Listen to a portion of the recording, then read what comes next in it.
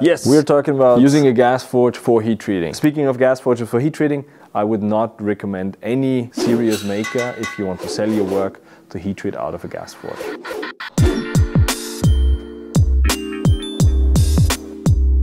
My name is Tobias Hangler. I am an Austrian bladesmith and trained metallurgist. I've been making and using culinary knives for about 14 years ago I started and I've been a full-time knife maker, bladesmith for about two and a half, three years now. Usually you only use a gas forge for heat treating because you already have a gas forge from forging and now you want to heat treat it in it as well because kilns can be expensive. What are the pros and advantages? What are the characteristics of using a gas forge for heat treating? First of all, we'll talk again about precision. The precision is unfortunately pretty bad with a gas forge forge. Some steels are more forgiving with temperature precision, others aren't. So if you use super low alloy steels that want to be heat treated in a certain range, you will easily have problems. The second point that we talk about when we're talking about heat treating systems basically is homogeneity. We want basically the entire at least the edge of the knife at the same temperature. Often we don't care about the back or we basically intentionally leave the back and the spine of the knife softer, don't heat it up at all. But all, along the edge we want to have an homogeneous temperature. That is something that is very tricky with a gas forge. You can, usually you will have the problem that the tip overheats. You can try to compensate, you know, put the spine of the knife along here in the entrance, heat up the whole body of the knife and only then put it in.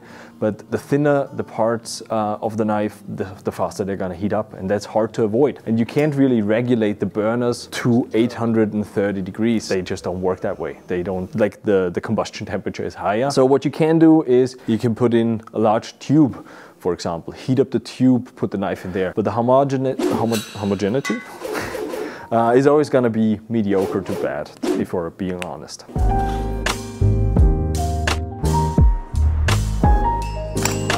safety and emissions of a gas forge. While I would consider a gas forge rather safe to use if you have proper ventilation and all that, you will always have the emissions. So you have CO2, uh, possibly carbon monoxide if you have a reducing flame and you will have fine dust particles. So you will need very good ventilation. You need to be very safe when you work with gas. So don't work in your basement. Even if it's cold in the winter, do open a window, have something, some airstream. I have CO2 uh, and carbon monoxide detectors everywhere in my forge because I've had plenty of uh, carbon monoxide poisonings in the past that I didn't realize were carbon monoxide poisonings. It's like you go home, you're tired, have a headache, maybe get a small fever very possible that you had carbon monoxide poisoning. Just because it's cold, you turn on the forge, it's nice there, and in the winter you maybe keep all the doors closed of your shed or just open them a little bit.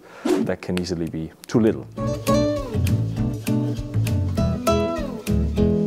Next up, efficiency. When you use a gas forge for heat treating, I would say the, the efficiency itself in terms of the, of the system that we're using is very low. Why? Basically you put in the, the propane or butane or whatever, mix it with air and it combusts. We create energy. We create thermal energy. We don't create energy, but we transfer it into heat. That heat is basically now moving around in the gas forge, heating up the knife. It also heats up the walls. We have a little bit of convection and we have a little bit of radiation that basically heats up the knife. And the gas stream still exits at six, seven, 800 degrees and basically heats the room now. So all the energy that is coming out of the off gas is basically lost for forging. So if you compare this to electric kiln where you have only the conductive heat loss, basically the, the heat that you get on the outside of the casing, that's the only heat that gets lost. There's no off gas. But in the gas forge, you're constantly pumping in air and constantly pumping out air. And that's a lot of energy that's not really used unless you're heating your workshop with it.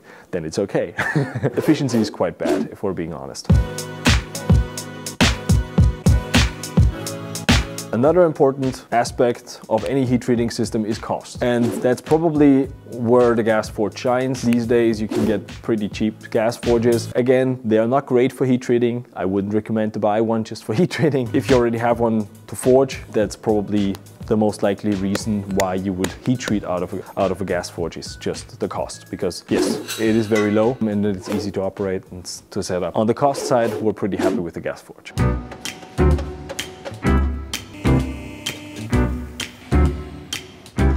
If we talk about heat up time, now I'm talking about the gas forge itself. How long does it take to heat up in comparison to a kiln? Gas forge is pretty good on the heat up. It's not nowhere near as fast as an induction heater, but it will be faster than an electric kiln just by how much energy you can pump in with propane, with the gas. So we're talking typically about, I would say, 8 to 15 minutes to get to a good even temperature in the gas forge. It will depend a lot on the model itself, of course.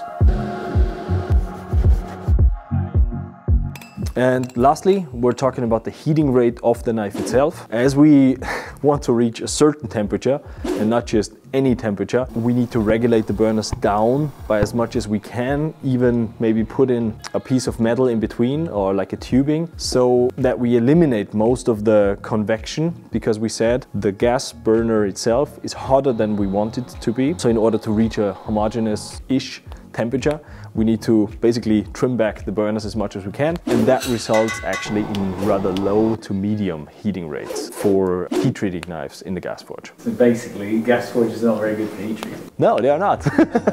so basically, basically they suck.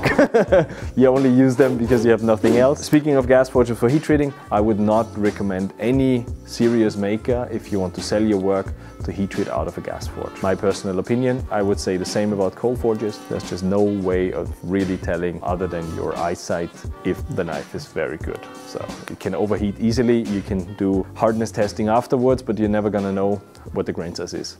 So I'm not a fan.